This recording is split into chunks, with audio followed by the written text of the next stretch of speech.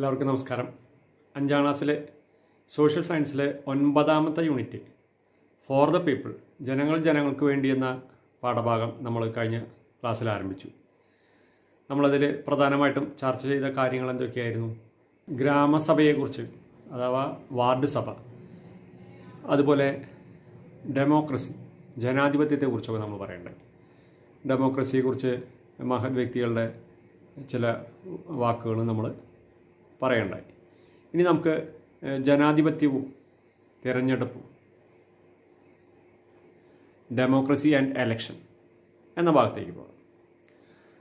നമ്മൾ ഇപ്പോൾ അടുത്ത് നമ്മുടെ കേരളത്തിൽ ഒരു ഇലക്ഷൻ കഴിഞ്ഞു അല്ലേ? പഞ്ചായത്ത് തലത്തിലേക്ക്. അതുപോലെ ബ്ലോക്ക് പഞ്ചായത്ത് അതുപോലെ ജില്ലാ പഞ്ചായത്ത് കോർപ്പറേഷൻ അല്ലേ അപ്പോൾ അത്തരത്തിൽ ഒരു തിരഞ്ഞെടുപ്പ് നടക്കുന്നതിന് പല ഘട്ടങ്ങളുണ്ട്. പെട്ടെന്ന് നമുക്കൊരു തിരഞ്ഞെടുപ്പ് നടത്താനായിട്ട് സാധിക്കില്ല. അതിന് ചില പ്രത്യേക കാര്യങ്ങളിലൂടെയൊക്കെ നമുക്ക് കടന്നു പോകേണ്ടി വരും. അപ്പോൾ ശരിക്കും പറഞ്ഞാൽ നമ്മുടെ ഈ പഞ്ചായത്തിലെ വാർഡ് മുതൽ പാർലമെന്റിലേക്കുള്ള തിരഞ്ഞെടുപ്പ് അടക്കം അതിന് ഒരുപാട് ഘട്ടങ്ങളിലൂടെ വേണം കടന്നു പോകാനായിട്ട്. അപ്പോൾ പ്രധാനമായിട്ടും അതിൽ വോട്ട് ചെയ്യണമെങ്കിൽ നമുക്കറിയാം പതിനെട്ട് വയസ്സ് പൂർത്തിയാകണം അല്ലേ? അപ്പോൾ അത്തരത്തിൽ ഒരുപാട് കാര്യങ്ങൾ വരുന്നുണ്ട്. ജസ്റ്റ് നമുക്ക് ആ കാര്യങ്ങളൊക്കെ ഒന്ന് നോക്കാം. The people elect their representatives to govern at various levels from the local level to the parliament. പ്രാദേശിക തലം മുതൽ പാർലമെന്റ് വരെ തങ്ങളെ ഭരിക്കേണ്ട പ്രതിനിധികളെ തിരഞ്ഞെടുക്കുന്നത് ജനങ്ങളാണ്. ഉണ്ടോ അപ്പോൾ നമ്മുടെ പഞ്ചായത്തിലെ വാർഡ് മുതൽ അതായത് പ്രാദേശിക തലം മുതൽ പാർലമെന്റ് വരെയുള്ള നമ്മളെ ഭരിക്കേണ്ട വ്യക്തികൾ ജനപ്രതിനിധികളെ തിരഞ്ഞെടുക്കുന്നത് നമ്മൾ ജനങ്ങൾ തന്നെയാണ്. Elections are held on the basis of universal adult franchise അതായത് സാർവത്രിക പ്രായപൂർത്തി വോട്ടവകാശത്തിന്റെ അടിസ്ഥാനത്തിലാണ് തിരഞ്ഞെടുപ്പ് നടത്തുന്നത്. യൂണിവേഴ്സൽ അഡൾട്ട് ഫ്രാഞ്ചൈസ് അതായത് അങ്ങനെ പറഞ്ഞാൽ എന്താ? സാർവത്രിക പ്രായപൂർത്തി വോട്ടവകാശം. അങ്ങനെ പറയുമ്പോൾ എന്താണെന്ന് നോക്കാം. Any citizen attain the age of eighteen years has an right to vote in election അതായത് പതിനെട്ട് വയസ്സായ പതിനെട്ട് വയസ്സ് പൂർത്തിയായ എല്ലാ ഇന്ത്യൻ പൗരന്മാർക്കും വോട്ടവകാശമുണ്ട്. The representatives to local self governments state legislative assemblies and Lok Sabha are elected through voting അപ്പം ഇങ്ങനെ പ്രാദേശിക ഭരണകൂടങ്ങളിലേക്കും നിയമസഭകളിലേക്കും ലോകസഭയിലേക്കുമുള്ള പ്രതിനിധികളെ ജനങ്ങൾ വോട്ട് ചെയ്താണ് തിരഞ്ഞെടുക്കുന്നത്. Election is a basic feature of democracy തിരഞ്ഞെടുപ്പ് എന്ന് പറയുന്നത് ജനാധിപത്യത്തിന്റെ അടിസ്ഥാന സവിശേഷതകളിലൊന്നാണ് അപ്പോൾ നമ്മളിവിടെ പറഞ്ഞു നമ്മുടെ പ്രാദേശിക തലം മുതൽ പാർലമെന്റ് വരെയുള്ള പ്രതിനിധികളെ തിരഞ്ഞെടുക്കുന്ന ജനങ്ങളാണ്. അപ്പോൾ പതിനെട്ട് വയസ്സ് പൂർത്തിയായ ഏതൊരു ഇന്ത്യൻ പൗരനും വോട്ടവകാശമുണ്ട്. അപ്പോൾ അതിന്റെ ബേസിലാണ് നമ്മുടെ വാർഡിലേക്കായാലും അതുപോലെ പഞ്ചായത്തിലേക്കായാലും അതുപോലെ ലെജിസ്ലേറ്റീവ് അസംബ്ലി അതുപോലെ പാർലമെന്റ് എല്ലാം നമുക്ക് അവിടെ തിരഞ്ഞെടുക്കപ്പെടുന്നത് ഇത്തരത്തിൽ ജനങ്ങൾ വോട്ട് ചെയ്തിട്ടാണ്. ജനങ്ങളുടെ വോട്ട് നേടിയാണ് ഈ പ്രതിനിധികൾ വിജയിച്ച് വരുന്നത്. അത്തരത്തിലുള്ള വ്യക്തികളാണ് നമ്മൾക്ക് നമ്മളുടെ നാട്ടിൽ ഭരണം നടത്തുന്നത്. ഞാൻ നിങ്ങളോട് കുറച്ച് ചോദ്യങ്ങൾ ചോദിക്കാൻ പോവാം. അതിന്റെ ഉത്തരം നിങ്ങൾക്ക് ചിലതൊക്കെ അറിയുന്നുണ്ടാവും. അറിയാത്തത് നിങ്ങൾ വീട്ടിലുള്ളവരോട് ചോദിച്ചാൽ അവർ പറഞ്ഞു തരും. എന്നിട്ട് ഈ ചോദ്യങ്ങൾ നിങ്ങളുടെ നോട്ട്ബുക്കിൽ എഴുതുകയും അതിന്റെ നേരെ അതിന്റെ ഉത്തരം എഴുതുകയും വേണം. ചോദ്യങ്ങൾ ശ്രദ്ധിച്ചോ? ഒന്നാമത്തെ ചോദ്യം. Who among your family members can vote നിങ്ങളുടെ വീട്ടിൽ ആരൊക്കെയാണ് വോട്ട് ചെയ്യാറുള്ളത്? അതായത് ഇലക്ഷൻ വരുമ്പോൾ ആരൊക്കെ വോട്ട് ചെയ്യാറുണ്ട്? ഇപ്പോൾ കഴിഞ്ഞ ഒരു ഇലക്ഷൻ കഴിഞ്ഞുള്ളൂ നമ്മുടെ അല്ലേ? ആ ഇലക്ഷനിൽ നിങ്ങളുടെ വീട്ടിൽ ആരൊക്കെ വോട്ട് ചെയ്തു? അപ്പോൾ അവരുടെ പേര് എഴുതുക. Which is your state legislative constituency നിങ്ങളുടെ നിയമസഭാ നിയോജക മണ്ഡലം ഏത്? നിങ്ങളുടെ നിയമസഭാ നിയോജക മണ്ഡലം ഏത്?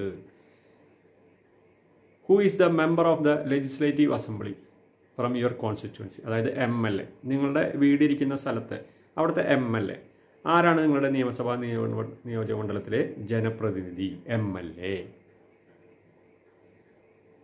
ആരാണ് നിങ്ങളുടെ നിയമസഭാ നിയോജക മണ്ഡലത്തിലെ ജനപ്രതിനിധി? എം എൽ എ അതാരാണ്? ആ പേരെഴുതണം. പല നിങ്ങൾക്ക് അറിയണ്ടാവും മിക്കവാറും. അറിയില്ലെങ്കിൽ നിങ്ങൾ വീട്ടിലുള്ളവരോട് ചോദിക്കുക. അപ്പോൾ അവർ പറഞ്ഞു തരും. Which is your Lok Sabha constituency നിങ്ങളുടെ ലോക്സഭ നിയോജക മണ്ഡലം ഏത്? ലോക്സഭാ മണ്ഡലം അതേതാണ്? Who is the member of parliament M P from your constituency ആരാണ് നിങ്ങളുടെ ലോക്സഭാ നിയോജക മണ്ഡലത്തിലെ ജനപ്രതിനിധി? എം പി അപ്പോൾ ഈ അഞ്ച് ചോദ്യങ്ങൾ. അഞ്ച് ചോദ്യത്തിന്റെ ഉത്തരം നിങ്ങൾക്ക് കിട്ടും. നിങ്ങൾക്ക് നേരിട്ട് കിട്ടില്ലെങ്കിൽ വീട്ടിലുള്ളവരോട് ചോദിച്ചാൽ അവർ പറഞ്ഞു തരും. അതൊന്ന് എഴുതി വെക്കണം നോട്ട്ബുക്കിലേക്ക്. ഇനി നമുക്ക് അടുത്തൊരു ടോപ്പിക്കിലേക്ക് പോകാം സ്റ്റേജസ് ഓഫ് എലക്ഷൻ തിരഞ്ഞെടുപ്പ് ഘട്ടങ്ങൾ. നമ്മളിപ്പോൾ തിരഞ്ഞെടുപ്പിനെ കുറിച്ചൊക്കെ പറഞ്ഞു അല്ലേ? ജനാധിപത്യത്തിലെ ഒരു അടിസ്ഥാന ഘടകമാണ് തിരഞ്ഞെടുപ്പ് എന്ന് പറയുന്നത് അല്ലേ? അപ്പോൾ ഈ തിരഞ്ഞെടുപ്പിന് പല ഘട്ടങ്ങളുണ്ട്. അപ്പോൾ നമുക്ക് അറിയാം സ്കൂളിൽ ഇലക്ഷൻ നടക്കും ഈ വർഷം ഇപ്പോൾ നമുക്ക് ഇലക്ഷൻ നടത്താൻ പറ്റിയില്ല അല്ലേ? മുമ്പൊക്കെ നമ്മൾ നടത്താറുള്ളത് നമുക്കറിയാം. അപ്പോൾ ആദ്യം തന്നെ നമ്മൾ അതിനൊരു എന്തൊക്കെ കാര്യങ്ങൾ വേണമെന്നൊരു നിർദ്ദേശങ്ങൾ നമുക്ക് തരും അല്ലേ?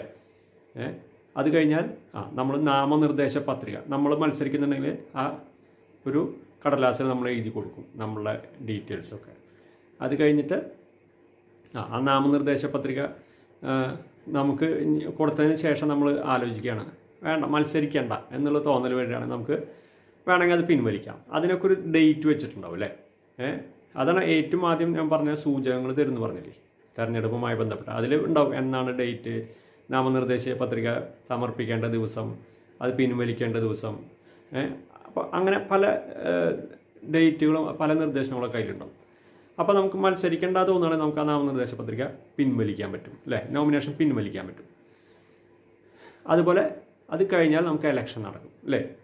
എലക്ഷൻ നട നടത്തി കഴിഞ്ഞാൽ അതിന്റെ ഫലം പുറത്തു വിടും അതിന്റെ റിസൾട്ടും പുറത്തു വിടും അപ്പം അങ്ങനെ പല പല ഘട്ടങ്ങളുണ്ട്. അപ്പോൾ ഈ ഘട്ടങ്ങളിലൊക്കെ ഇവിടെയൊക്കെ കടന്നിട്ടാണ് നമ്മുടെ ഓരോ എലക്ഷനും നടക്കുക. നമ്മുടെ സ്കൂളിലായാലും അതുപോലെ പുറമെ നമ്മളിപ്പോൾ ഈ പറഞ്ഞ പോലെ പഞ്ചായത്തിലോ അങ്ങനെ മറ്റ് ഏത് മേഖലയിലായാലും എലക്ഷന് പല ഘട്ടങ്ങളുണ്ട്. അപ്പോൾ ആ ഘട്ടങ്ങളാണ് നമുക്കിനി നോക്കാനുള്ളത്. എന്തൊക്കെയാണ് ആ ഘട്ടങ്ങൾ നോക്കാം first one issue of election notification അതായത് തിരഞ്ഞെടുപ്പ് വിജ്ഞാപനം പുറപ്പെടുവിപ്പിക്കൽ. തിരഞ്ഞെടുപ്പ് വിജ്ഞാപനം പുറപ്പെടുവിക്കൽ. അതായത് അതിൽ കൃത്യമായിട്ട് എന്നാണ് എലക്ഷനും അതിൽ നാമനിർദ്ദേശ പത്രിക കൊടുക്കേണ്ട ദിവസവും പിൻവലിക്കേണ്ട ദിവസവും അതിൽ നമ്മൾ എന്തൊക്കെ കാര്യങ്ങൾ പാലിക്കണം അങ്ങനെ ഒരുപാട് കാര്യങ്ങൾ അതിൽ പറയുന്നുണ്ട്. കൃത്യമായൊരു വിവരങ്ങൾ നമുക്ക് അതിൽ നിന്ന് ലഭിക്കും. സബ്മിഷൻ ഓഫ് നോമിനേഷൻ പിന്നത്തെ ഘട്ടമാണ് നാമനിർദ്ദേശ പത്രിക സമർപ്പിക്കൽ. അതായത് മത്സരിക്കുന്ന വ്യക്തി ആ ഇലക്ഷനിൽ മത്സരിക്കുന്ന വ്യക്തി. ആ ഞാൻ മത്സരിക്കുന്നുണ്ട് എന്ന് കാണിക്കുന്നതിനായിട്ട് അതിനൊരു നാമനിർദ്ദേശ പത്രിക എന്ന് പറയും. കൃത്യമായി അവരുടെ ഡീറ്റെയിൽസ് എല്ലാം കൊടുത്ത് അതിൽ ഒരുപാട് വിവരങ്ങൾ ചോദിക്കുന്നുണ്ടാവും. ആ വിവരങ്ങളൊക്കെ കൃത്യമായ രീതിയിൽ തെറ്റില്ലാതെ പൂരിപ്പിച്ചുകൊണ്ട് അത് സമർപ്പിക്കണം. അതാ ആ ഇലക്ഷനുമായി ബന്ധപ്പെട്ട് ഭരണാധികാരി ആരാണോ അവർക്കാണ് അത് സമർപ്പിക്കേണ്ടത്. അടുത്തത് സ്ക്രൂട്ടിനി ഓഫ് നോമിനേഷൻ. നാമനിർദ്ദേശ പത്രികകളുടെ സൂക്ഷ്മ പരിശോധന. അതായത് ഈ ഇലക്ഷനിൽ നിൽക്കുന്ന വ്യക്തി ഇപ്പോൾ നാമനിർദ്ദേശ പത്രിക കൊടുത്തു. അപ്പോൾ അത് ആ കൊടുത്ത വിവരങ്ങൾ ശരിയാണോ അല്ലയോ എന്നുള്ള പരിശോധനയുണ്ടാവും അപ്പോൾ ശരിയാണെങ്കിൽ കുഴപ്പമില്ല. അതിൽ കൊടുത്തതിൽ വിവരങ്ങൾ തെറ്റുണ്ട് എന്നുള്ളത് ബോധ്യമായാൽ ആ നാമനിർദ്ദേശ പത്രിക തള്ളും. അപ്പോൾ ആ വ്യക്തിക്ക് അതിൽ മത്സരിക്കാൻ സാധിക്കില്ല. അടുത്താണ് വിഡ്രോവൽ ഓഫ് നോമിനേഷൻ നാമനിർദ്ദേശ പത്രിക പിൻവലിക്കൽ അതായത് നമ്മൾ നാമനിർദ്ദേശ പത്രിക കൊടുത്തു. ഇലക്ഷന് നിൽക്കാനായിട്ട്. പിന്നീട് നമുക്ക് തോന്നുകയാണ് ഈ ഇലക്ഷന് നിൽക്കണ്ട. നാമനിർദ്ദേശ പത്രിക കൊടുത്തല്ലേ ഇനിയിപ്പോൾ എന്തായാലും നിൽക്കണ്ട. നമുക്കത് പിൻവലിക്കാം. അപ്പോൾ ആ പിൻവലിക്കുന്നതിനൊരു ഡേറ്റ് ഉണ്ടാവും. അതാണ് അടുത്ത ഘട്ടം എന്ന് പറയുന്നത്. അടുത്തത് വോട്ടിംഗ് ആണ്. വോട്ടെടുപ്പാണ്. അതായത് എലക്ഷൻ ഡേറ്റ് നമ്മൾ ആ ഓരോ വ്യക്തികളും ആ എലക്ഷനിൽ വോട്ട് ചെയ്യുന്നത് ആ വോട്ടിംഗ് ഡേറ്റിലാണ് അതിന് ശേഷമാണ് എന്ത് counting of votes and declaration of result അതായത് വോട്ടെണ്ണലും ഫലപ്രഖ്യാപനവും. ആ വോട്ട് ആരാ ആർക്കൊക്കെ ചെയ്തെന്നുള്ളതൊക്കെ അത് അത് വ്യക്തികൾക്ക് അറിയണ്ടാവുള്ളൂ അല്ലേ? അതൊന്നും പുറത്തു വിടുന്നുണ്ടാവില്ല പക്ഷേ മൊത്തത്തിൽ എത്ര വോട്ട് ഏതൊക്കെ സ്ഥാനാർത്ഥികൾക്ക് എത്ര വോട്ട് കിട്ടി എന്നുള്ളതൊക്കെ എണ്ണി തിട്ടപ്പെടുത്തും. അപ്പോൾ ഏറ്റവും കൂടുതൽ വോട്ട് കിട്ടിയ വ്യക്തിയെ വിജയിയായിട്ട് പ്രഖ്യാപിക്കും. മനസ്സിലായോ? അങ്ങനെ ഇതൊക്കെയാണ് ഒരു എലക്ഷന്റെ പ്രധാന ഘട്ടങ്ങൾ എന്ന് പറയുന്നത്. അപ്പോൾ ഇതൊന്ന് നല്ലപോലെ മനസ്സിലാക്കണം. നമുക്കത് വളരെ ഇമ്പോർട്ടന്റ് ആണ് ഈ ഘട്ടങ്ങൾ എന്ന് പറയുന്നത്. ഈ സ്റ്റെപ്സ് മുഴുവൻ നമുക്ക് വളരെ പ്രധാനപ്പെട്ടതാണ്. അപ്പോൾ ഇത്തരത്തിൽ കൃത്യമായ ഘട്ടങ്ങളിലൂടെയാണ് ഓരോ എലക്ഷനും കടന്നു പോവുക. അപ്പോൾ കൃത്യമായ ഘട്ടങ്ങളിലൂടെ സ്റ്റേജസിലൂടെയാണ് അപ്പോൾ അതിനുശേഷം നമുക്കറിയാം ആ തിരഞ്ഞെടുക്കപ്പെടുന്ന വ്യക്തികൾ ആണ് ആ ഏത് പോസ്റ്റിലേക്കാണോ തിരഞ്ഞെടുക്കപ്പെട്ടത് ആ പോസ്റ്റിൽ ഉണ്ടാവുക. അപ്പോൾ ഇത്തരത്തിൽ തിരഞ്ഞെടുപ്പ് എന്ന് പറയുന്നത് ജനാധിപത്യ പ്രക്രിയയുടെ വളരെ അവിഭാജ്യമായ ഒരു ഘടകമാണ് ഒരു ഫാക്ടറാണ് അത് നമുക്ക് ഈ പറഞ്ഞ ഭാഗങ്ങളിൽ നിന്ന് നമുക്ക് മനസ്സിലാക്കാൻ സാധിച്ചിട്ടുണ്ടാവും അല്ലേ? അപ്പോൾ നമുക്ക് ഇന്ന് പ്രധാനമായിട്ട് നമ്മൾ പറഞ്ഞ കാര്യങ്ങൾ ഇത്രയേ ഉള്ളൂ. ഇലക്ഷനുമായി ബന്ധപ്പെട്ടത് അല്ലേ? അതിന്റെ സ്റ്റേജസ് ആണ് ഇന്ന് പറഞ്ഞതിൽ ഏറ്റവും പ്രധാനപ്പെട്ട കാര്യങ്ങൾ. അതുപോലെ നമ്മൾ സ്റ്റാർട്ടിങ്ങിൽ പറഞ്ഞത് എന്തൊക്കെയാണ് ആ ഈ ഇത്തരത്തിൽ എലക്ട് ചെയ്യപ്പെട്ട നമ്മുടെ പ്രദേശത്ത് എലക്ട് ചെയ്യപ്പെട്ട ചില വ്യക്തികളുടെ പേരൊക്കെ നമ്മൾ ചോദിച്ചു അല്ലേ? ഏതൊക്കെ? ആ എം എൽ എ എം പിയുടെ ഒക്കെ അല്ലേ? അതുപോലെ നിയോജക മണ്ഡലങ്ങൾ ലോക്സഭാ നിയോജക മണ്ഡലം അല്ലേ? അതൊക്കെ ചോദിച്ചു അപ്പോൾ ഇത്രയും നമുക്ക് ഇന്നത്തെ ക്ലാസ്സിൽ പറയാനുള്ളൂ. നമുക്ക് അടുത്ത ക്ലാസ്സിൽ നമുക്ക് ഇതിന്റെ തുടർച്ച എന്നാണ് അടുത്ത ടോപ്പിക്കിലേക്ക് കടക്കാം.